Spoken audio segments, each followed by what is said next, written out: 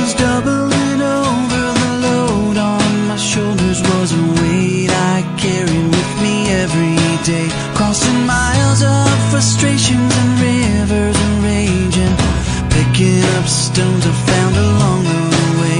I staggered and I stumbled down pathways of trouble. I was hauling those souvenirs of misery.